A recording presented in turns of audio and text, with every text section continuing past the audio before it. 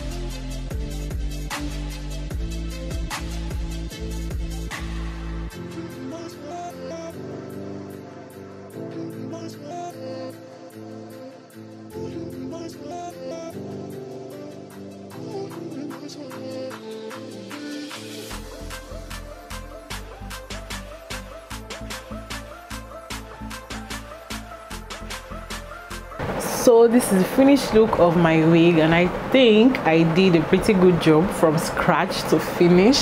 Oh. anyways this is the end of the video. I hope you enjoyed it. I hope you learned something. And quarantine is making me bring out all my hidden talent. I hope you find something to do in this quarantine period. And if you like this video put your thumb where your mouth is and give this video a thumbs up. Don't forget to hit the subscribe button if you haven't and hit the notification bell so you get a notification whenever i upload a new video. And thank you so much for watching. I hope to see you guys in my next video. Bye.